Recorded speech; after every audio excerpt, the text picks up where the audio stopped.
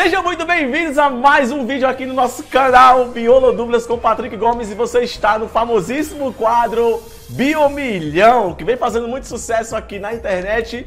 E hoje eu estou nada mais nada menos com Biologia na Cabeça com Francisco Anselmi, meu amigo. Seja bem-vindo, meu amigão. Como é que você tá, cara?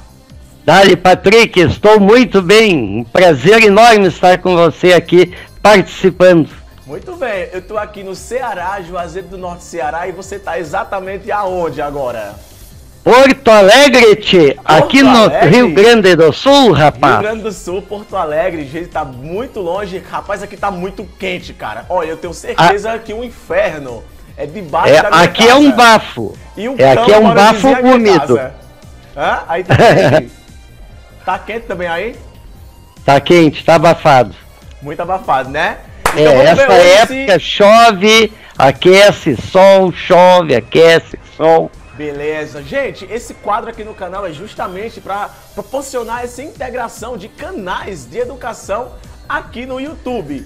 E hoje vamos saber se Francisco Anselmo aí é bom em biologia, colocando ele aqui na encruzilhada para saber se ele vai saber responder as perguntas de biologia, porque ele é ligado à biologia.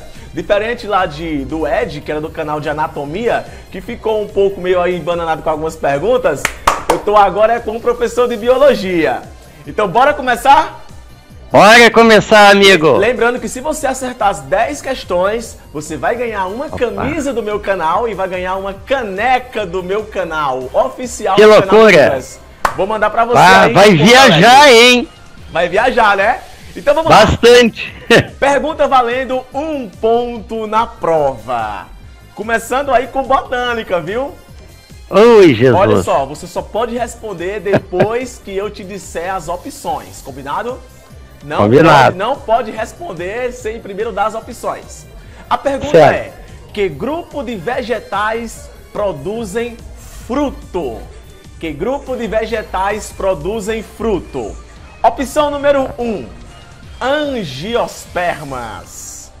Opção número 2, girinospermas. Conhece essa? girinospermas. tá boa, hein? Opção número 3, quem produz fruto é Samuel Cunha Permas. Conhece essa? E a opção 4, quem produz fruto é Kenidosperma. Então você tem aí a opção 4, Kenidosperma. Opção 3, Samuel Cunhosperma. Opção 2, Girinosperma. E opção número 1, Angiosperma. Valendo um ponto na prova, meu amigão. Qual é a opção correta? Opção é 1, Gimnosperma. Gimnosperma ou Angiosperma? A opção número 1 é Angiospermas. Angiospermas. Angiospermas. A opção está Angiospermas. correta. Parabéns, meu Uhul! Você, ó, vou pegar agora você do capricho. O fruto, Ai, Jesus. o fruto, ele vem de qual estrutura dos vegetais? Saberia me dizer? Ah, ele vem lá do ovário. Muito bem. Fruto da, do ovário. Da e flor. E a semente vem do óvulo. Um do óvulo. aí na média para o canal Biologia na Cabeça com Francisco, com Francisco Alcemi. Bora para Anselmi, amigo. Anselmi. É um nome meio Esse sobrenome italiano é difícil, é cara. É difícil, velho. Próxima tá pergunta, valendo aí mais um ponto na prova. Vamos ver se esse cara vai conseguir acertar, velho. Porque hoje eu só coloquei pergunta cabulosa, velho. Cabulosa. A pergunta 2 é a seguinte: Que tá. fase que fase da respiração celular ocorre na matriz mitocondrial? Que fase da respiração celular ocorre na matriz mitocondrial? Opção número 3, porque aqui é tudo misturado. Ciclo de Krebs. Opção número 1, um, bicicleta de Krebs. Opção número 3, 2, quadrado de Krebs. E opção número 4, Fusca de Quebres. Qual é a opção correta? Opção número 1, bicicleta de Quebres. 2, quadrado de Krebs. 3, ciclo de Krebs. E 4, Fusca de Krebs. Essa aqui é difícil, viu? Muito difícil. Qual a opção correta? A resposta é. A resposta é ciclo de Krebs. Opção correta, ciclo de Krebs. Krebs. Muito bem. Mais um ponto aí, mais um ponto para o professorzão Francisco. Dois pontos, dois pontos, na média, viu? Dois pontos na média. Se você, tá, se você está até aqui nesse vídeo, deixe logo aí o seu like para poder incentivar a gente a postar cada vez mais conteúdo aqui, colocando na parede os professores de biologia e de qualquer outra área aqui do YouTube. Dois pontos para o biólogozão aí, Francisca Selmi. Próxima pergunta. Isso. Vamos embora. Quem é considerado o pai da genética? Ah, nossa essa daqui, genética. Essa daqui é boa. Opção essa é boa. 1, Lawrence Pasteur. Opção número 2, Robert Hooke. Opção número 3, Charles Darwin. Ou opção número 4, Gregor Mendel, pai da genética. O pai da genética é, é ele. O monge Johann Gregor Mendel. Cara, é o mito da biologia, sabe até o nome completo do, do de Gregor Mendel, porque para mim é só Gregor Mendel. Rapaz, é, tá eu tô biologia há 24 anos. Tá gabarit... Aula de biologia. Tá gabaritando tudo, meu amigo, esse cara hoje. Mas, é. galera, se preocupem não que eu vou pegar ele. Eu vou pegar ele, eu vou pegar ele. Ei, meu amigo Patrick, mês passado completei 29 anos de formado em biologia. 29 anos formados em biologia. É, tô velho, cara. E eu apenas há 10 anos. Tô aqui já Não, correndo. 29. Não, Não é 39, eu acho. 39? Meu 51 menos 22, quanto é que dá isso? Não, sem matemática, pelo amor de Deus, sem matemática, porque ninguém tem matemática.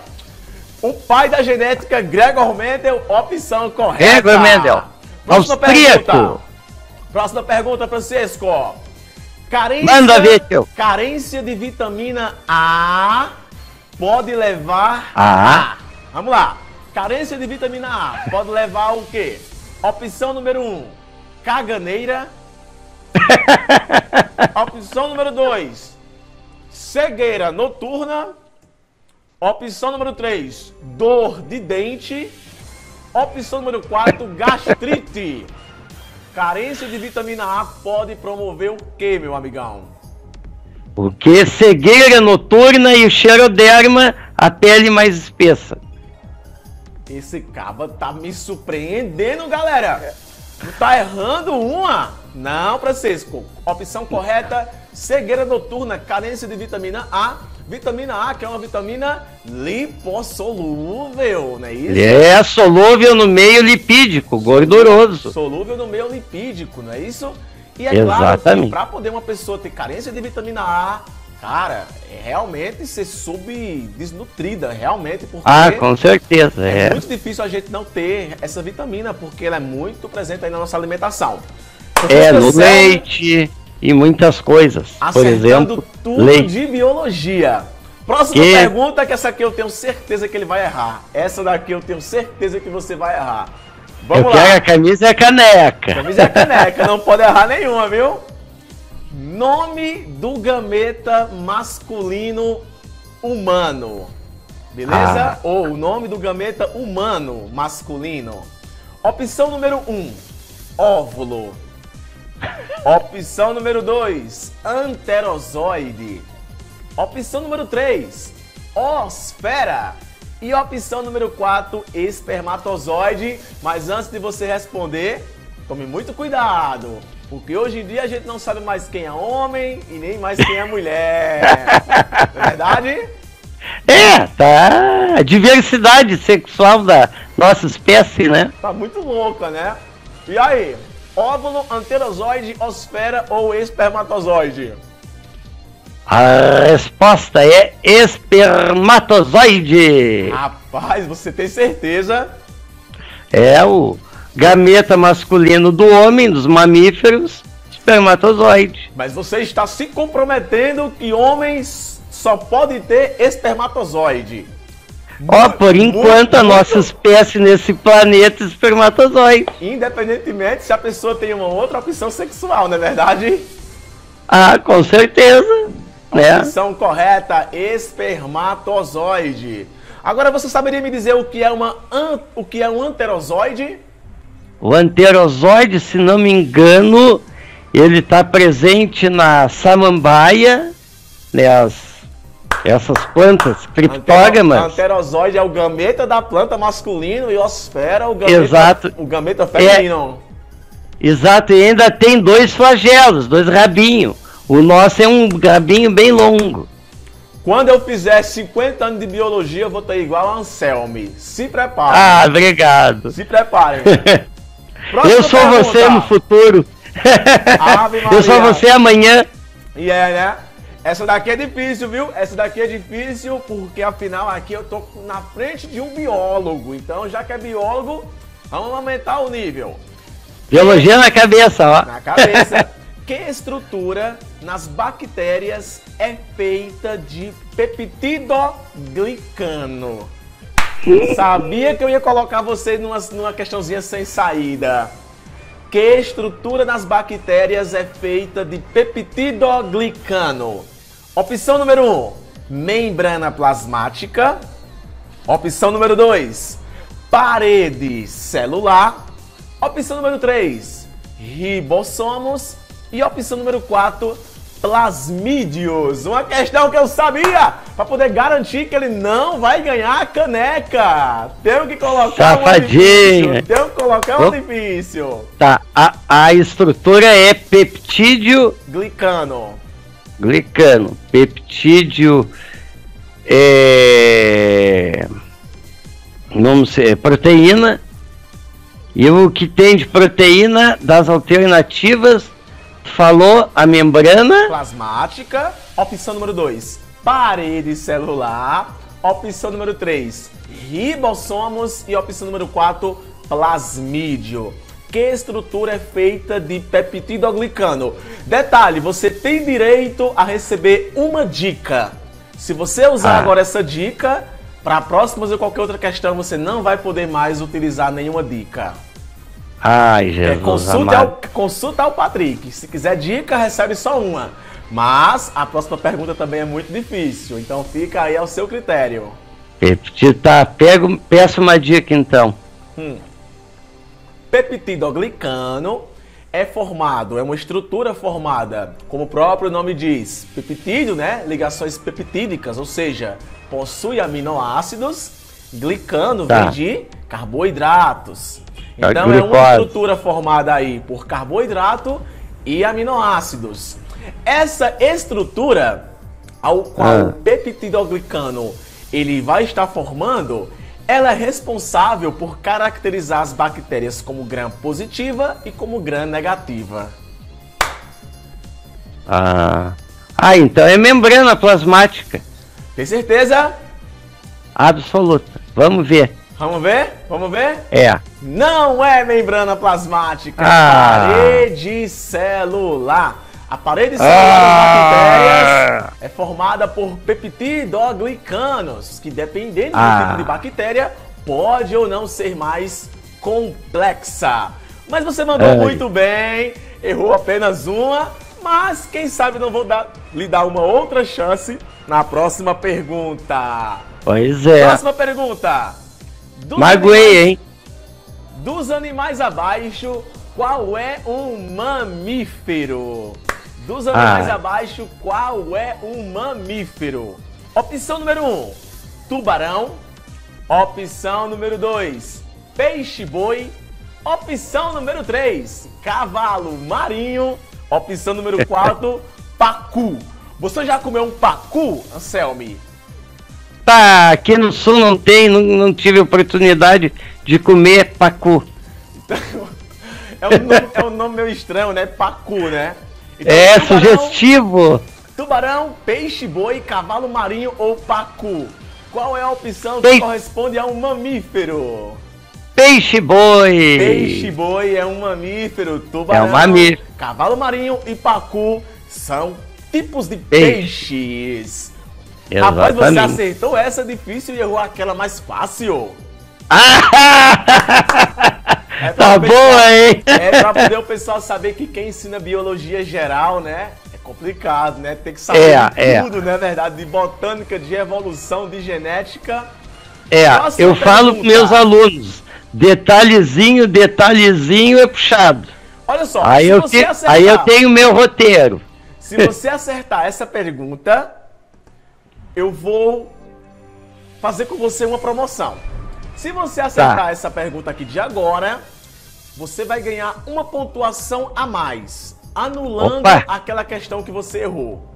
Mas tá. se você errar essa questão, você perde mais dois pontos. Ai, meu Deus. O desafio aceita?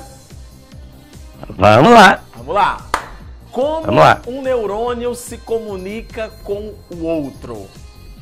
Como ah, um neurônio ah. se comunica com o outro? Opção Como? número 1, um, pelo Facebook. Opção número 2, pelo WhatsApp. Opção número 3, pelo Instagram. Ou opção número 4, pelas sinapses que a alternativa 4, pelas ah, tu sinapses. Tem, tu, tem, tu tem certeza que não é pelo Facebook, rapaz? Olha, eu procurei elas no Facebook e não achei. e pelo WhatsApp? Pá, muito menos, tchê. E pelo Instagram? Tá, ó. Principalmente, Nem a né? pau, Juvenal. Opção 4, opção correta. Sinapses são as comunicações Sinapse. que acontecem entre os neurônios, lembrando Entre que neurônios. a sinapse química acontece via neurotransmissores e a sinapse Exato. física acontece com o contato direto entre os neurônios, não é isso? Perfeitamente. Não vamos dar uma aula aqui agora de biologia, mas acertou a opção 4 e você acabou de ganhar aquele ponto que você tinha perdido. Então até agora você está com a caneca, ah. beleza? Ah, Bom, agora eu gostei. Vamos aqui para a próxima pergunta. Deixa eu ver é. aqui. Olha só. Essa pergunta aqui é uma pergunta que eu perguntei no outro. No outro bio, bio, biomilhão e o Ed quase que errava. Vamos ver se você acerta, tá bom? Ai, se for o que eu tô pensando. Qual o principal vetor da dengue? Ou melhor, o principal vetor da dengue é mosquito Aedes do Agito Mosquito Aedes aegypti, Mosquito Anopheles ou Mosquito Culex? Mosquito, o vetor da dengue, Aedes do Agito, Aedes aegypti, Mosquito Anopheles ou Mosquito Culex? É o mosquito Aedes aegypti. Aedes aegypti, opção correta. Essa daqui também se errasse, meu patrão. Pelo amor de Deus, não é verdade? Não. Até, não, Aedes aegypti. Até minha mãe sabe que. É. E ele é escrito dessa maneira porque é um nome científico que, segundo a nomenclatura, gênero e espécie escritos em latim, latínico, né? Aquele, aliás, em latim e itálico. Última pergunta, valendo um 10 aqui agora no Biomilhão, ah. garantindo que você vai ganhar a caneca e garantindo que você vai ganhar a camisa. Vamos lá? Opa! Tudo ou nada. E se errar, perde tudo. Combinado? Ah, não! Vamos lá.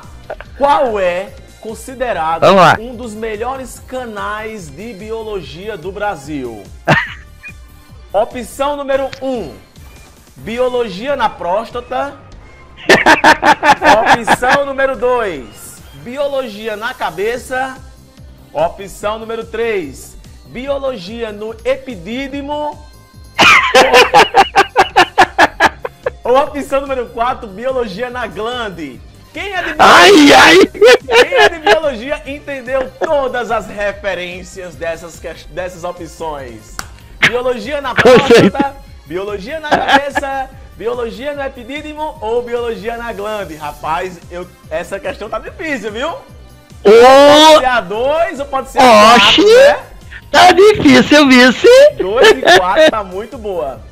Amigão, então, tá dizer aí qual é, qual é o canal e se você acertar, você tem o direito de divulgar o seu trabalho aqui pra galera. Então vamos lá, qual é a opção correta?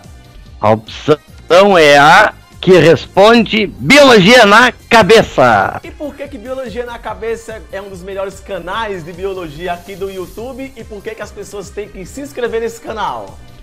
Bom, vamos lá. Biologia na Cabeça vem trazer o conhecimento da biologia ali, papum, rápido, direto, resolvendo questões de Enem, da Federal aqui de Porto Alegre, a URGS e outros federais do Brasil afora respondendo questões de genética, realizando cruzamentos genéticos, ensinando, tirando dúvidas, uh, matadoras, diretas, com, com macete, tem os macetes, biomacete de biologia, enfim, tem várias formas, vários vídeos, vários formatos para trazer a biologia na cabeça das pessoas. Parabéns, professor Anselmi. Você, para mim, é uma referência há tantos, Ai, anos, há tantos anos na educação. E obrigado, você, muitos, muitos, professores, Anselmi, que estão há tanto tempo ensinando, acabam tendo Não. resistência de, é. de trabalhar com essas TICs, tecnologias da informação é. e da é. comunicação. Eu vejo pelos meus colegas. Você... Os mais jovens têm pique, né? Tem essa energia. Agora os velhos né? Que nem eu. Você não, é velho, velho, você não é velho. Velho é a serra. Velho é. É, é velho é, é a serra. É o sol. O que é. define a idade de uma pessoa, Anselme, é seu a estado de, é o seu estado de espírito, a sua cabeça. E você Exato. está de parabéns, você é um batalhador, um guerreiro. Muito obrigado. Pessoal, conheçam o canal do Anselme, tem muita coisa boa de biologia lá. E esse esse quadro aqui no canal é uma justificativa para poder os canais de educação se manterem cada vez mais interagidos e interligados nas, na busca de uma educação melhor para esse país. Que tantas pessoas. Estamos precisando, amigo. Que tantas pessoas reclamam, não é, Anselme? Mas não Exato. fazem nada. E nós. É, tem que partir das pessoas. E nós estamos aqui para mudar esse Brasil, para mudar a educação desse país que tanto precisa e professores como Anselme são modelo de professor que esse Brasil precisa. Meu amigão, muito obrigado. Tá. Vou estar tá deixando aqui na descrição do, do, do vídeo o canal do Anselme. Conheçam e se inscrevam, porque vale muito a pena. Vamos lá. Anselme, Vamos alguma, lá. alguma consideração final? Eu tenho a agradecer essa oportunidade ímpar estar com você aqui no seu canal e ao mesmo tempo tá agradeço em poder divulgar o meu trabalho no YouTube com Biologia na Cabeça. Que há tanto tempo eu tô ó, na peleia braba aí, com, que nem todos vocês, todos nós professores, no YouTube. Gratidão. E quem sabe esse é um, um dos vários vídeos que nós dois iremos gravar juntos. Ah, e... ainda quero gravar ao vivo e a cores contigo junto comigo, pessoalmente. Vou viajar para aí ou você viaja para cá. Beleza? Pois é. Pessoal, ficamos por aqui. Se você Tamo gostou, jeito. deixe seu like, comente, compartilhe. E até o nosso Ó. próximo vídeo. Valeu! Descrição.